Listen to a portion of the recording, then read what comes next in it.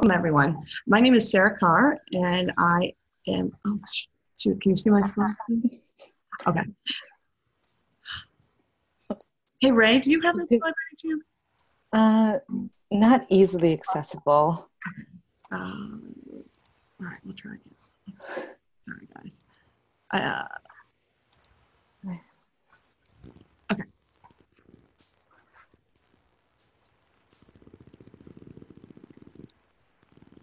Okay, all right. Welcome, everyone. We're working out some kinks. So, um, welcome to today's webinar. Um, my name is Sarah Carr, and I'm coordinator for the EBM Tools Network, which is co-coordinated by OCTO and NatureServe.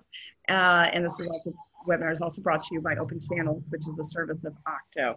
We are super excited to have Jorge Alvarez Romero today um, to speak about learning from others, the new conservation planning database. And Jorge, if you want to just bring up your first slide. Um, Jorge is coming to us from uh, James Cook University and the ARC Center of Excellence for Coral Reef Studies.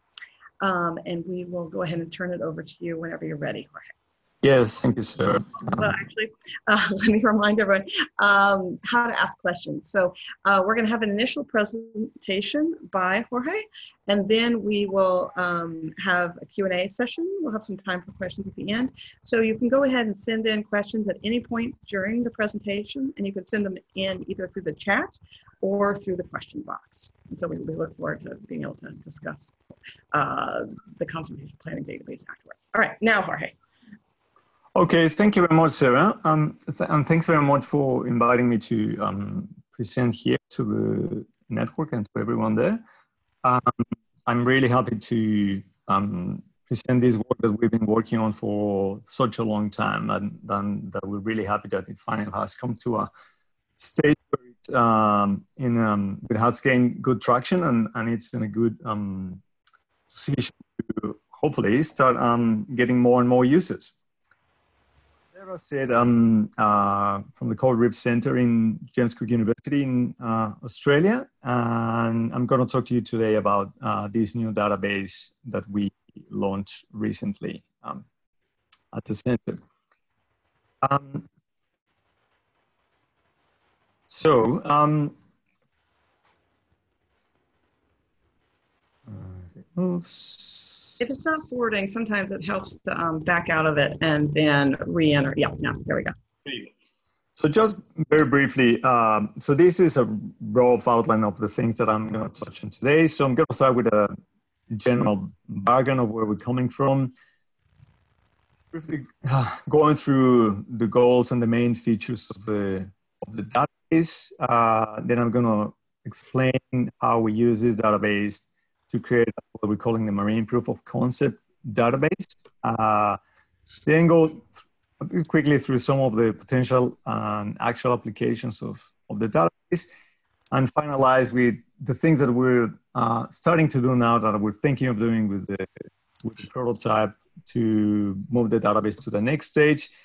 And I don't think I'm going to take um, all that long through the presentation. So because I wanted to do two things. One, to show you the actual database, even if it's just briefly, and then probably have also enough time to have uh, questions or a discussion because I think that's probably where a lot of the most interesting um, things could could happen. So, um, the where do we come from? Um, as as we as everyone knows, and uh, as we've seen, especially along the past um, years, protected areas have been widely used um, to curb the accelerating decline of biodiversity on both terrestrial and marine environments. And the map here shows the latest uh, depiction of, of where protected areas are across the globe. And obviously that doesn't include the many other um, local smaller scale initiatives uh, that are in the form in one form of protection um, across the globe. And these protected areas have been uh, essentially set up um, to curb the kind of biodiversity um, by preventing specific threats. So we're talking about things like the loss of habitat through vegetation clearing, um, the effects of overfishing, uh, the effects of um, urbanization or coastal development, right? So um, because protected areas have been um, so popular and widely used to, as a mitigation for some of these across the globe, they've been um, growing steadily in the case of terrestrial uh, protected areas. And for marine protected areas in particular, uh, their numbers and the extent has grown um, exponentially, especially over the um, past 10 years. So because protected areas are going to become uh, more and more common across the world, and the countries are committed both nationally and internationally to um, protect more of the um, national um, areas on the well to protect in some form, one form or another um, the natural environments. Um, then the the need to look into how we are designing and how we are setting up these protected areas is, is really important. Of course, we need to recognize that um, well, while protected areas are quite varied, conservation interventions are not only constrained to setting up protected areas, and the number also of initiatives to undertake other activities both within and outside protected areas like certification of, uh, of seafood or control of feral species and weeds or fire management to reduce risk to threatened systems has also um, increased significantly over the past um, few, few, years. So all these, uh, what we call spatially based conservation actions are going to be more and more common and are going to be more and more widespread and countries across the world are investing a lot of time, resources, and, and money into setting up these, um, these interventions. And so, unfortunately, especially when it comes to um, protected areas, um, despite the huge advances and the many, many benefits that they have um, um about um, across the globe, there's also a lot of examples of poor design uh, of protected areas that have been placed in what we could call uh, expensive ways. So a lot of the time we have, in, um, I guess, in, especially local stakeholders have potentially have incurred um, more expense than they than they probably should have. And in the end, um, when protected areas are and other forms of spatial conservation are not um, designed wisely, then they may not be as effective to conserve the biodiversity that they're meant to, right? And there's a lot of literature, uh, especially in the last few years, with all the revisions of targets under the Convention for Biological Diversity. There's been a lot of um, exploration about how some of these protected areas are not doing their job as good as they can. And it's not only related to um, design, it's sometimes related to implementation, sometimes related to other things. But we have seen in many cases uh, the appearance of what we call residual protected areas, so place, places where there's potentially not enough threats to, um, to deserve the protection. Uh, so protected areas are not necessarily placed in the most cost-effective ways to achieve the ultimate goal, which is to conserve biodiversity. So um, this uh, in itself was a strong motivation for us to look into, um, all right, how much protected areas have been um, explored and how much so protected areas have been designed um, in a wise way. And in this way, um, the systematic conservation planning, uh, which I'm going to refer to as SCP in several parts of the presentation, is um, is a discipline that has been that is now well established. It's been going on for over 30 years, and it provides a robust and a transparent approach to the spatial allocation of, of conservation priorities, which could come in the form of protected areas or other spatially based conservation interventions. Um, in very simple terms, uh, conservation planning involves the spatial prioritization to place and to define the boundaries of these conservation areas, including protected areas, in a cost-effective way. So low cost, uh, but effective. They can range from uh, identifying areas for strict protection, like marine reserves, to off-reserve management, like uh, the implementation of feral animal control or fire management to reduce risks to threatened species, for example. And so um, conservation planning has been, as I said, going for quite a few, quite a few years. Uh, yet also roughly around the last decade, there's been an exponential increase in the number of um, conservation planning applications. And planners are more and more using this approach to delineate new protected areas in general, to identify which ones are the best areas that we need to protect or to better manage to achieve the biodiversity conservation that we that we're aiming for. And this is obviously very important because the as, as you know, the decline in both terrestrial and marine biodiversity continues to accelerate. Um, um, unfortunately, um, us, even though there's a lot of effort going on there, and there's a lot of really interesting and good new tools and new science about how we do conservation planning in a better way, so that we don't end up with costly and ineffective protected areas. Um, unfortunately, there's up to, up to now, there hasn't been a structured or reliable way of finding information of the methods and the trends and the progress in the discipline. And this is partially due to the large number. I mean, we're talking about hundreds of thousands of, of new studies and between the gray literature and the, and the peer reviewed literature of, in, in this discipline. And the other problem that we've identified uh, is that there is a lot of variation in the quality of some of these plans and also in the, in the detail in how, in how they document and record how plants have been um, created, um, over, over, over, especially um, especially with regards to how some of the areas have been established. And so, because of these things, this really limits our opportunities to first to develop best practice planning principles and then to apply them or to find these best practice principles. And so, all all in all, this this situation, the combination of protected areas not being placed in the right in, in, in the right places, and the fact that we are not being able to learn fast enough and from what's been done already, there is we identified that there was a really strong need for a more systematic documentation of practice, research and practice, and um, and then to do a critical analysis of the literature and how this is actually um, going on. So this is this is where the database comes in.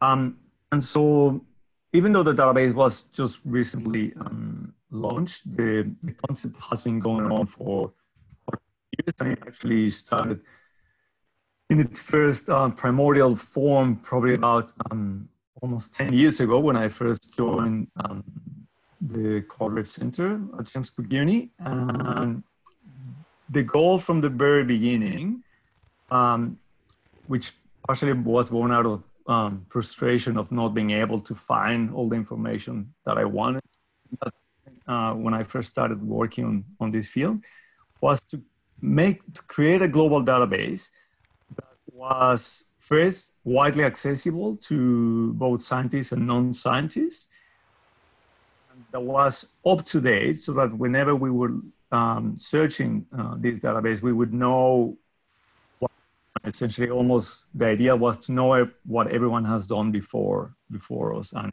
where. And the idea of having this uh, global database was to help um, people, and I'll go more into the users in a second, to help track the development of these plans. Eventually, the implementation and the impact of these uh, conservation planning applications. And in this way, we can then learn from this effort and do a better job in, in the future. Essentially, a way of, of, of um, harnessing all the knowledge and all the effort that has happened um, over the years. So, key characteristics of the of this database when we developed was um, well, we wanted to make sure that there was a way of standardizing the reporting for conservation plans. Uh, so document them in a, in the same way, um, which also which obviously require going through quite a few conservation plans to see what were the key characteristics, what were the most important, what were the things that every every single plan um, generally included. And then the, the intention of this was to increase the, the transparency, the consistency, and the comparability of information. And in the same way, through this, through this um, in, increase in transparency, consistency, and comparability, we would have been, we would be able to repeat the methods and to identify the reason, the rationale of the different planning decisions. Uh, and because the context of planning changes a lot what conservation plans look like and how they are uh, undertaken, then it is important to have some way of comparing and, and consistently documenting um, plans across the globe. That was one of the main um, motivations and, and, and our, I guess, the spirit of the database. On, on another really important way, um, we thought that this global database was really important to contribute in exchanging the um, advice and taking technical advice, and eventually develop and share also these best practices that I've been talking about, the tools people have been using, and overall the lessons learned among researchers, practitioners, and policymakers. And so, because the task was, as you could imagine, because we're talking about thousands of um, applications, we thought that we would get started with a marine proof of concept. And we wanted to make this at least to make sure that this was a, a comprehensive repository for systematic conservation planning exercises across the globe. And we started with all the plans in the peer-reviewed literature, of which many are actually related to actual on-ground um, not all of them because some of them are theoretical, but they, they essentially they represent a significant um, amount of effort and they certainly reflect the diversity approaches in conservation planning, in this case in the marine environment. Um, that being said, even though the database has, was developed, this proof of concept was developed using the marine uh, planning literature, the database was also developed to be easily adaptable to include terrestrial and freshwater conservation planning. So it really would require minor adjustments to make sure we include this additional.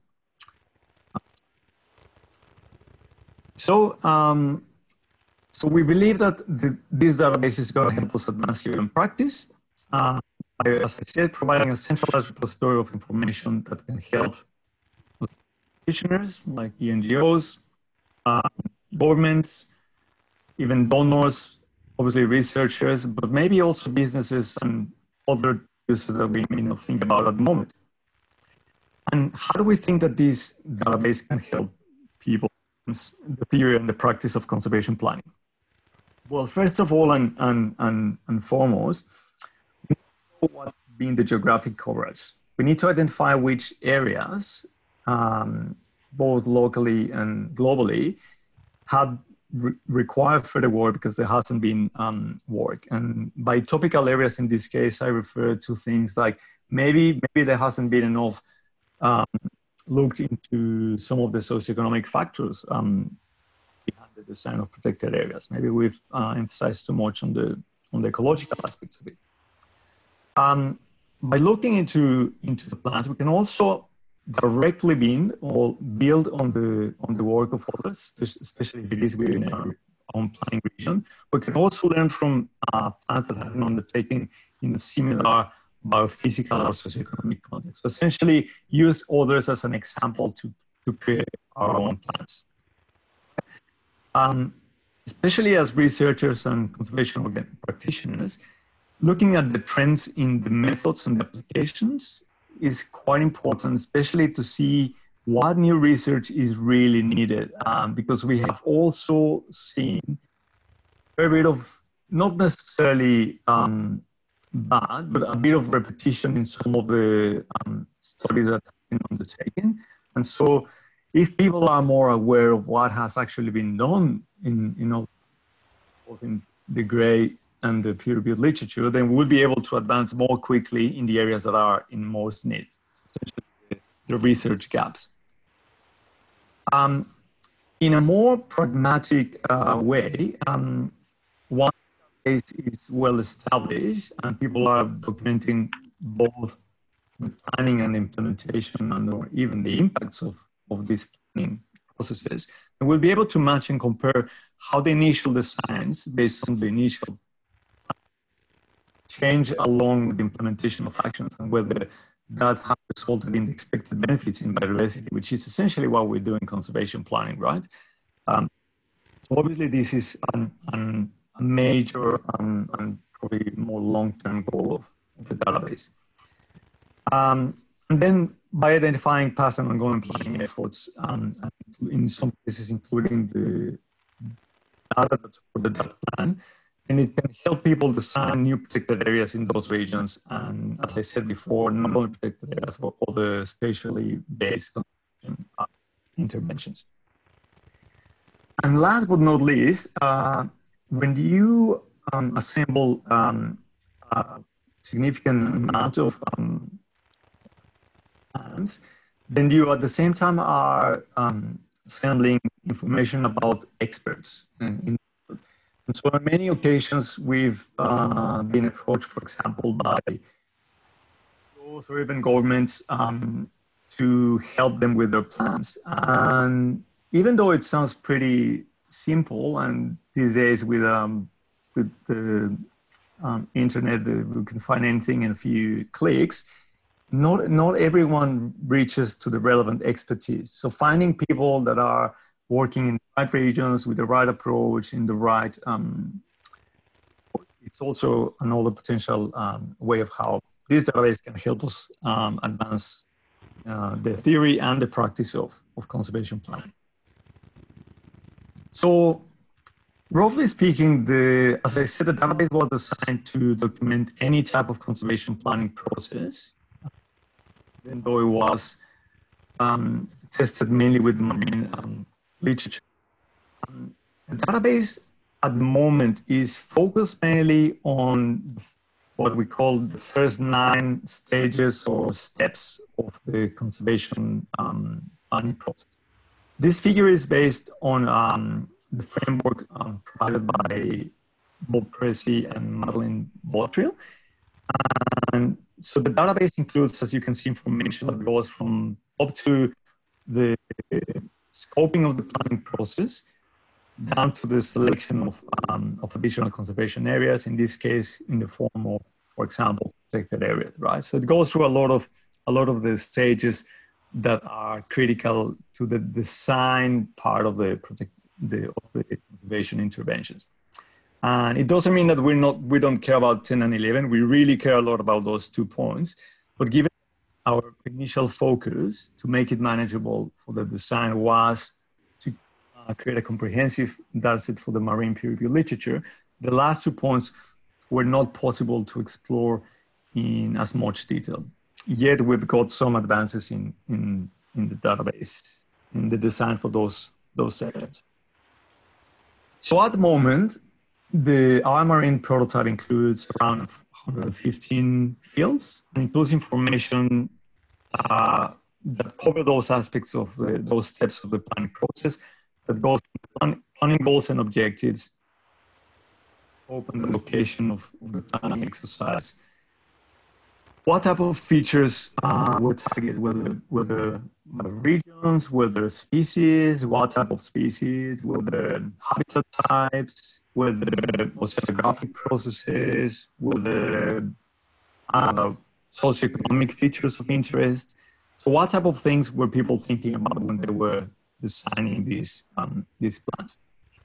And it's got a strong section, a big section about methods and tools. So what are the approaches that people use to create these plans?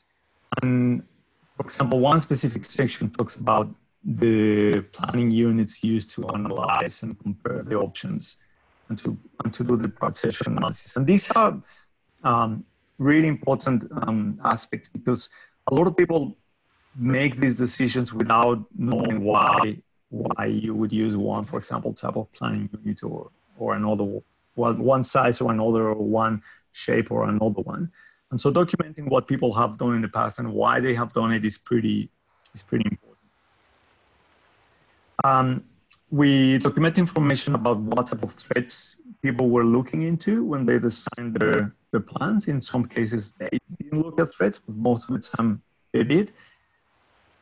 Um, we try to get a little bit into the um, stakeholder participation in the planning. This was unfortunately not very possible because, um, I'll little bit later in, in the case study for the marine stories, um, but because this is very, um, is not very well documented, which is some of the reason why the database is quite important. We couldn't go into too much detail, but we did provide some classification of how uh, stakeholders participated in the, in the planning. And then finally, we went down to documenting what um, type of planning outputs the different exercises uh, resulted in, and included things like what approaches people followed, if they did, include things like ecological connectivity, um, modifications of the designs to account for climate change, and importantly, what type of socioeconomic considerations they were um, looking into, if at all, during, during planning. So um, the, the database was, um, is, um, was introduced into a review paper that we published um, last year in biological conservation. The, essentially, the, the database um, what is described in this paper. So I would I would recommend you to have a look if you want to more detail. Um, it's got a lot of supplementary material too, so it will allow you to get into the the of of the database and, and, and the review.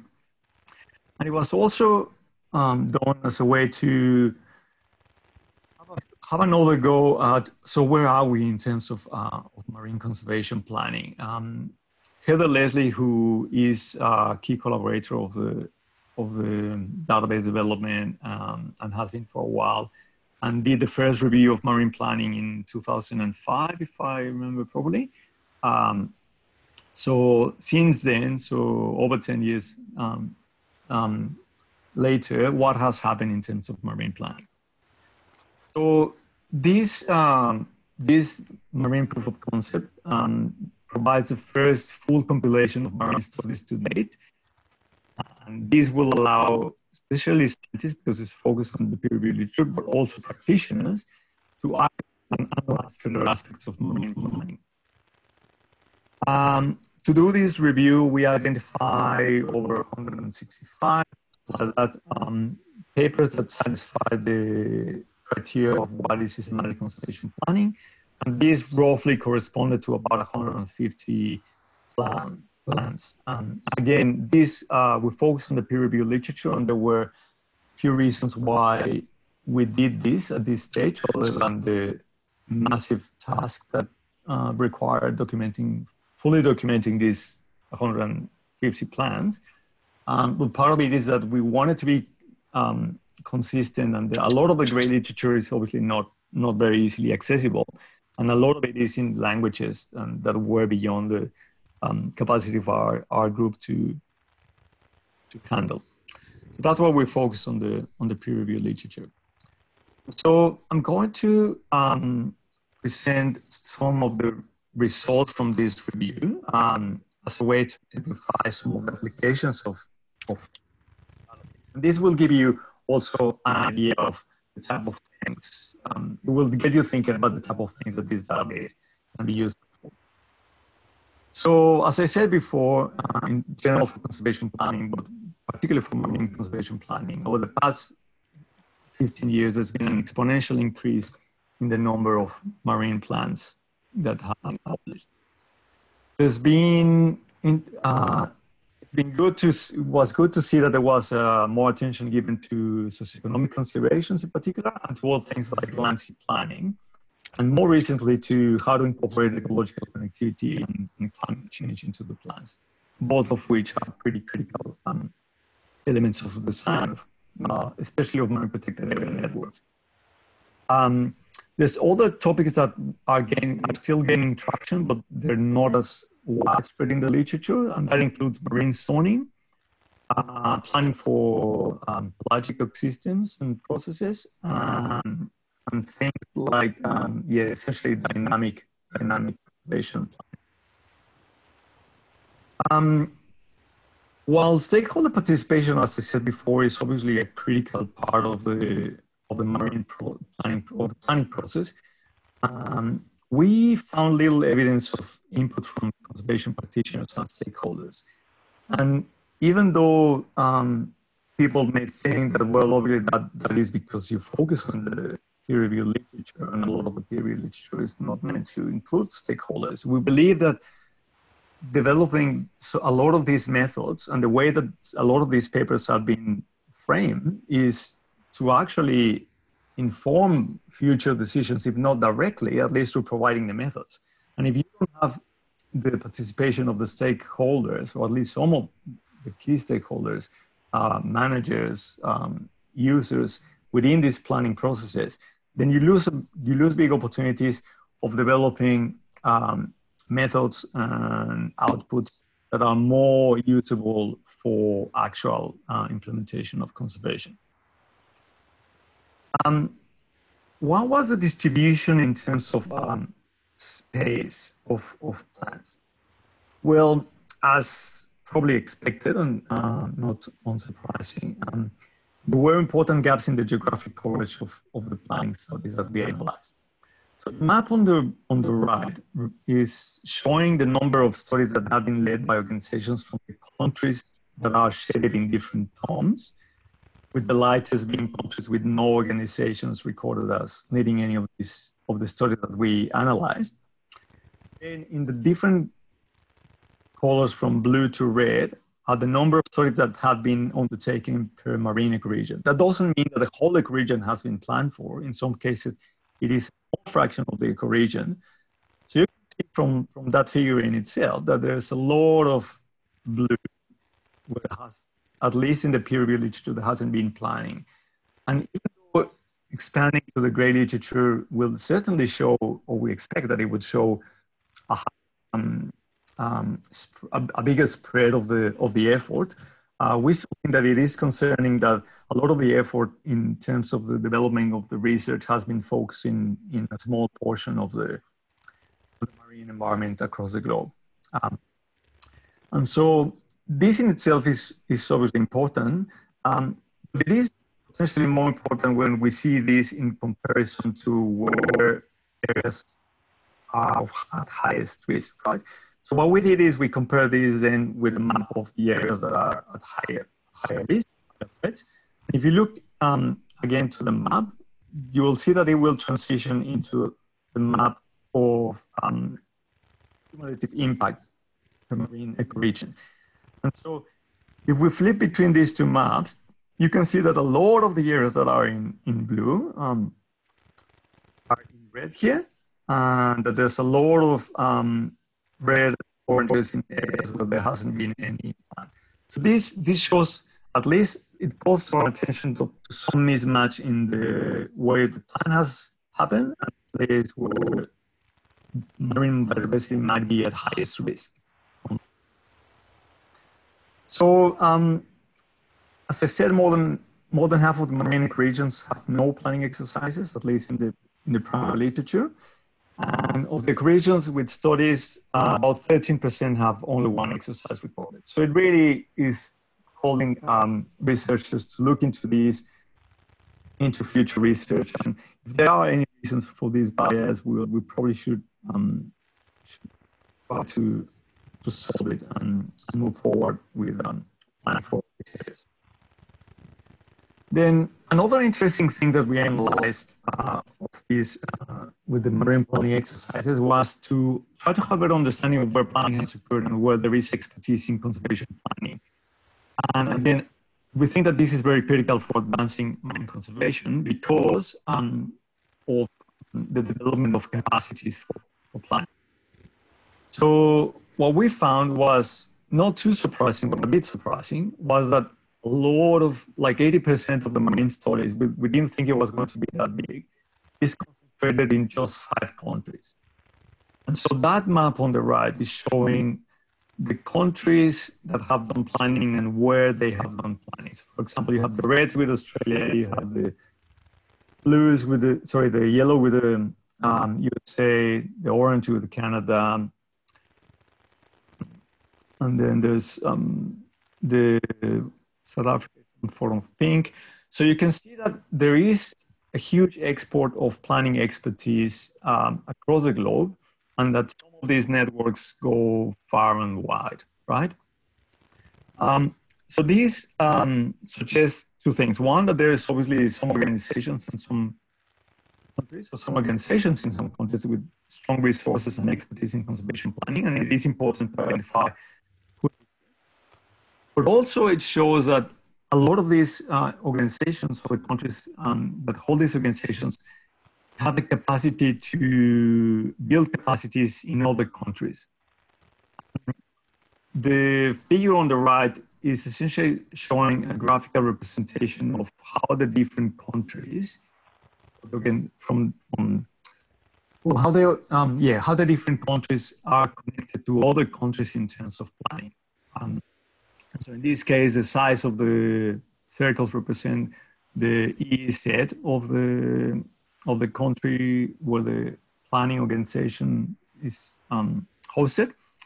Um, the colors is representing um, how healthy, I guess, the oceans are, based on Ocean Health Index by Halpern et al.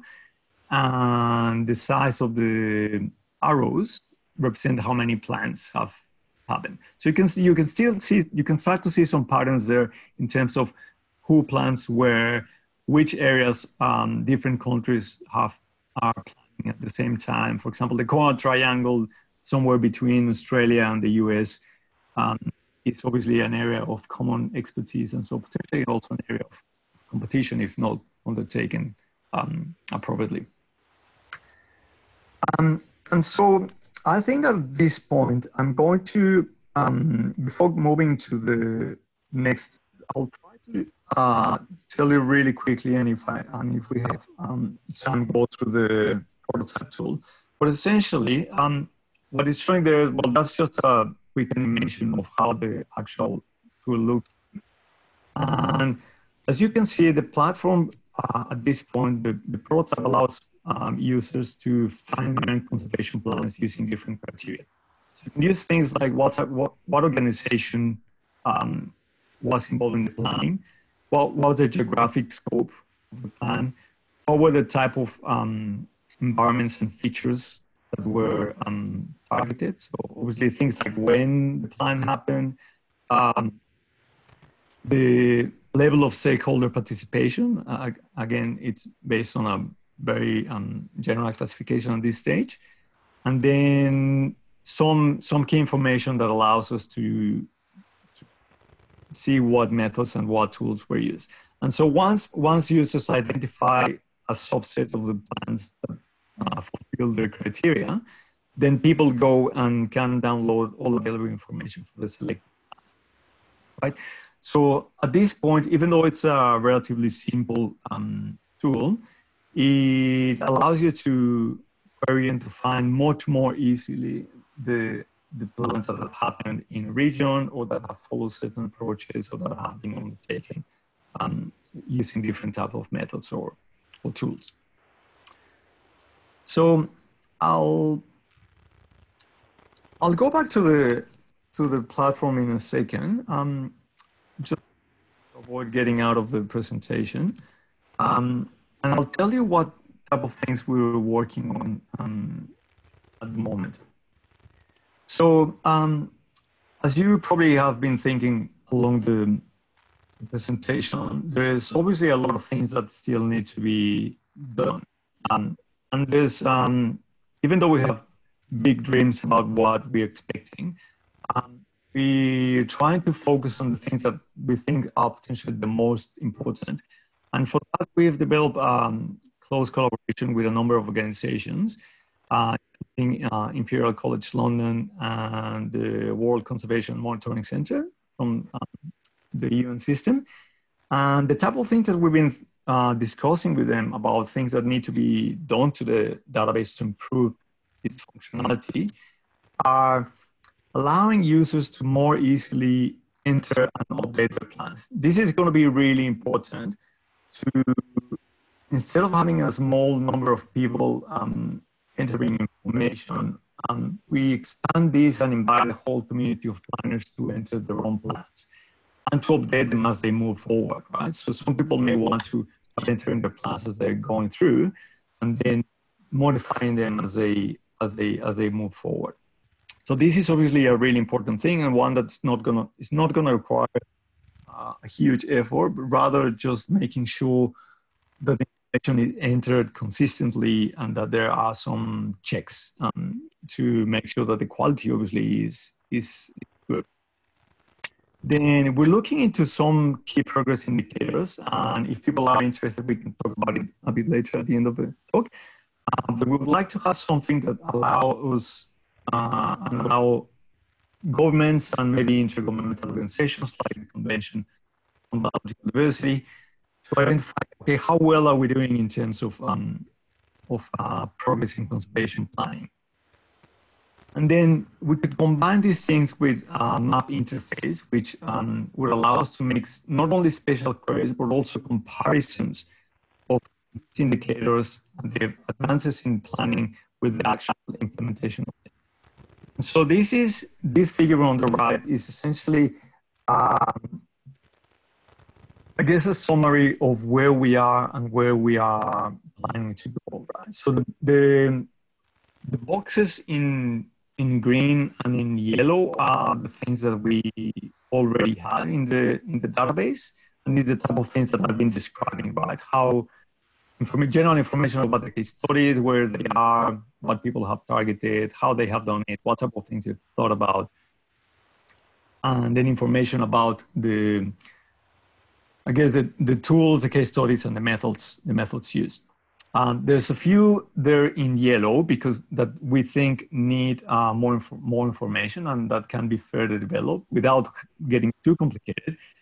But these are the type of things that will require to get more input from the actual planners because a lot of the information, as I, as I said before, we did we found that there was some um, bar, the, that the plans were documented in in various levels of um, detail and quality. So in many cases, it is only through the direct contribution of the actual planners or the implementers of the plan that we could get some of this information. And then there's completely new things like uh, related to implementation and the monitoring of impacts. That there's only the only way to get this information would be to have the direct participation of the of the conservation um, community out there.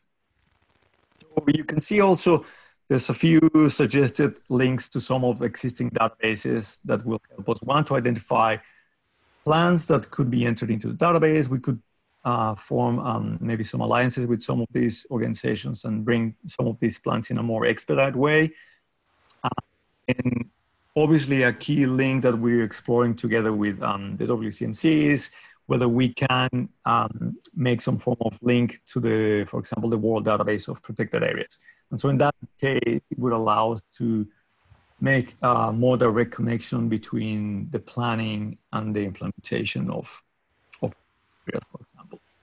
So essentially making the information more rich and more useful to, um, to know how well we're doing in, in making progress into achieving all these national, national and international targets.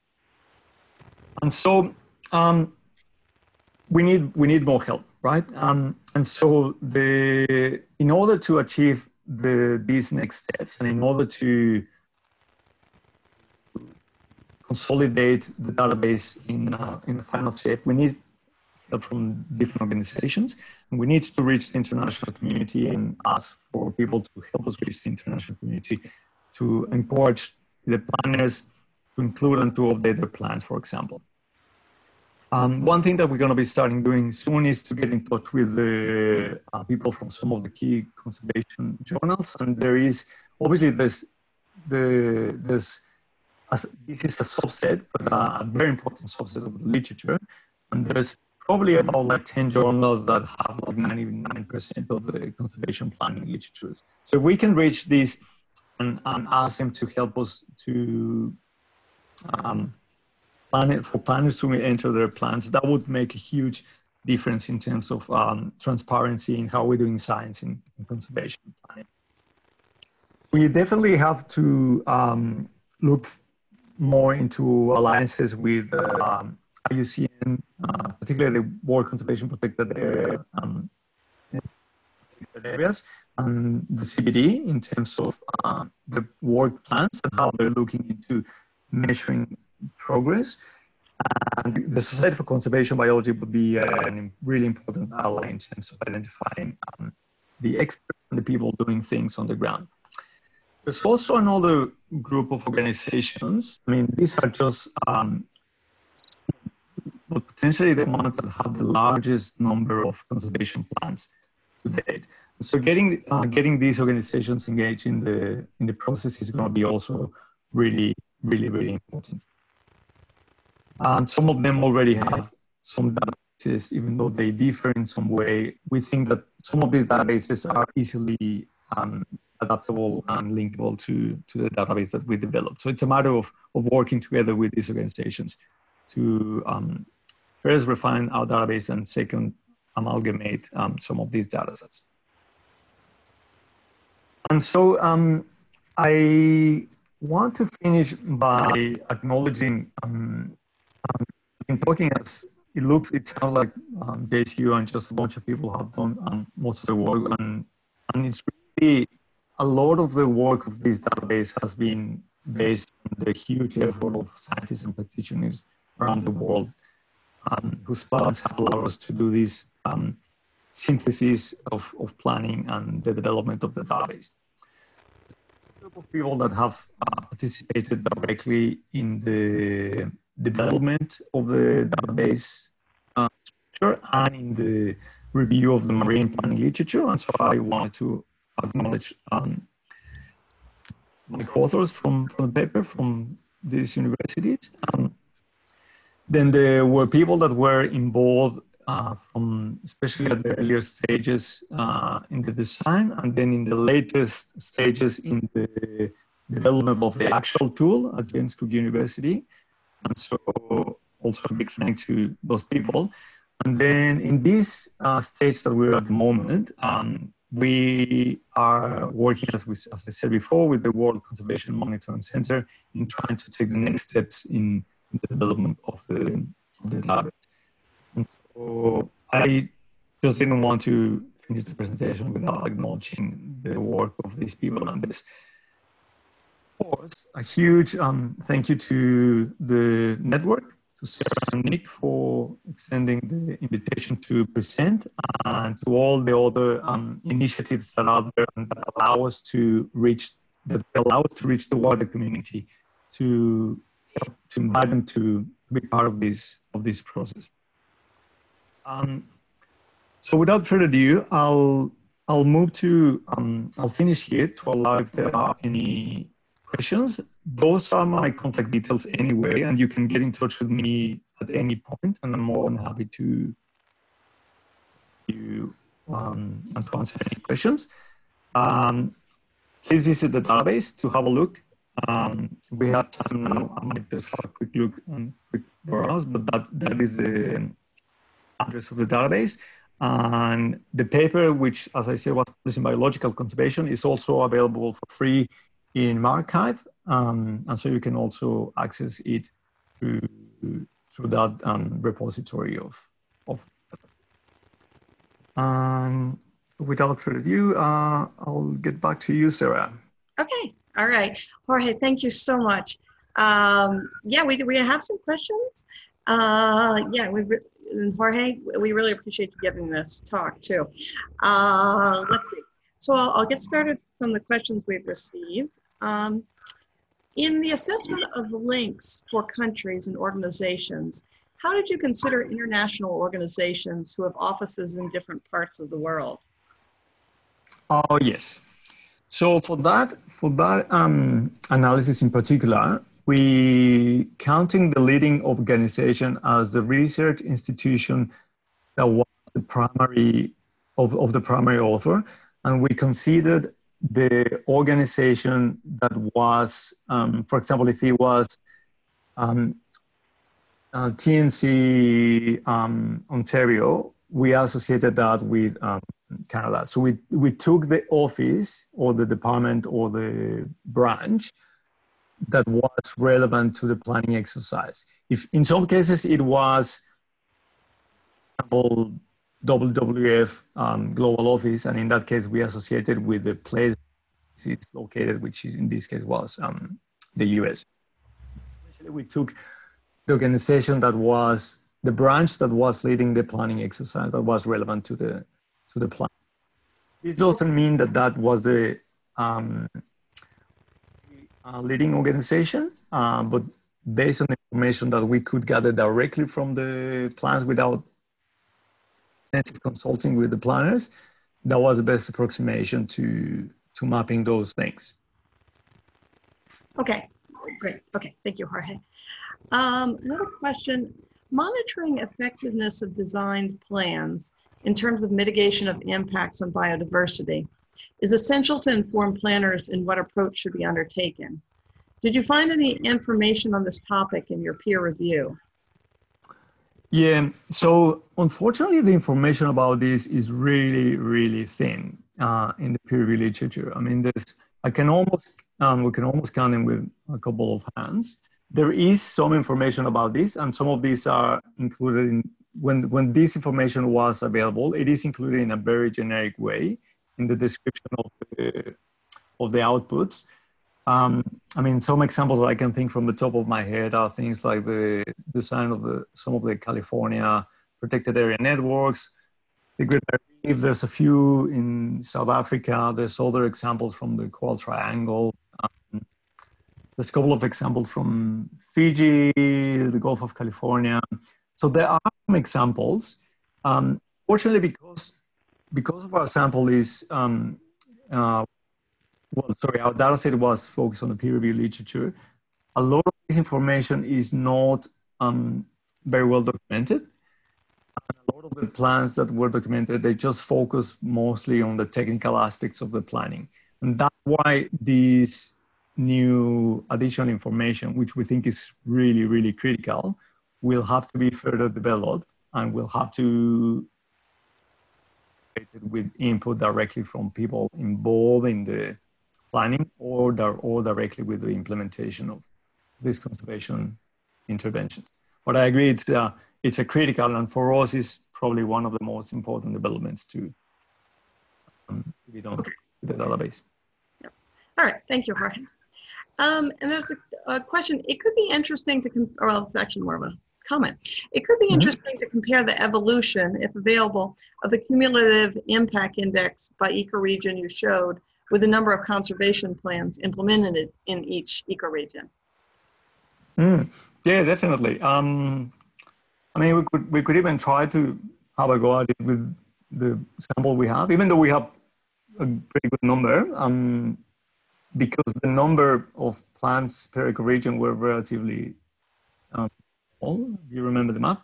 Even in the one, even in the regions where there was a lot of planning.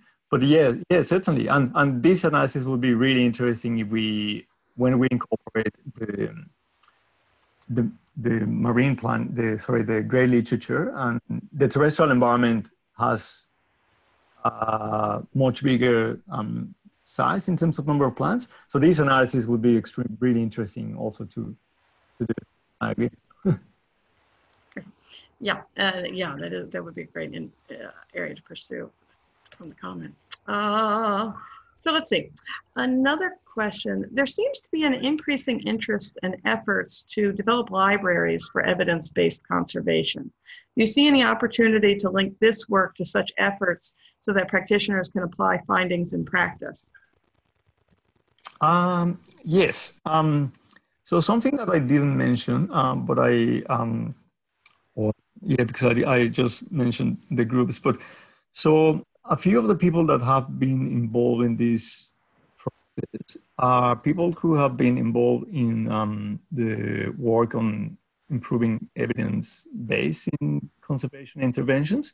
So a lot of so when we, as we were developing the database, we cross-checked um, our structure and the structure of, of, of people working on conservation planning um, effectiveness. And um, you probably you may have seen a, a recent review by Emma McIntosh and collaborators on the impact of conservation, and uh, which unfortunately found um, that there were not that many plans that you could systematically assess or um, with enough evidence in terms of the impact from directly from planning, which which also emphasizes how difficult it is to to do these things and how much more work we need to we need to do that. But um, I guess to answer more in a, in a short way, um, I agree. With, we need to work very closely with with these initiatives and with people developing the methods to ensure that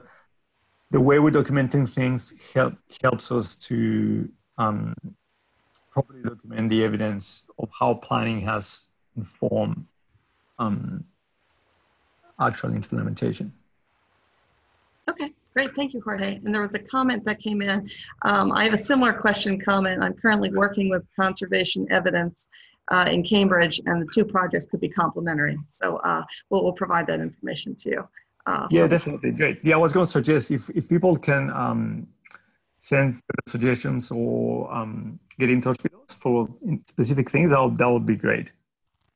Okay, well, great. And so we don't have any more questions at this time, but uh, you did a great job laying out uh, the current status for the conservation planning database and next next steps. And I hope you got um, I hope you get lots of contacts offline. Um, it was certainly our pleasure to uh, help spread the word about this great initiatives, Jorge. So. Um, uh, we wish you the best of luck and thank you everyone who was able to participate today. I'm sorry the sound was a little choppy, but um, think uh, was it was understandable. And um, we'll have a recording if anyone uh, wants to see it. And then uh, I encourage you to contact Jorge for any additional information. Yeah, wonderful. Thank you very much um, again, Sarah, for the opportunity. Um, and thanks everyone for for being here. Um, perhaps the only additional thing that I just wanted to mention um, before closing was that we're going to be launching a survey about the potential uses of the database. And so just um, keep an eye on, on that. Um, that's going to help us to improve the future of the, of the tool. Okay, fantastic. And I'll share that one with you. okay, that sounds great. All right, thank you everyone. And thank you, Jorge. Wonderful. Have a great rest of your Thank you very much. It's So early to do this. okay, all right, bye everyone. Bye.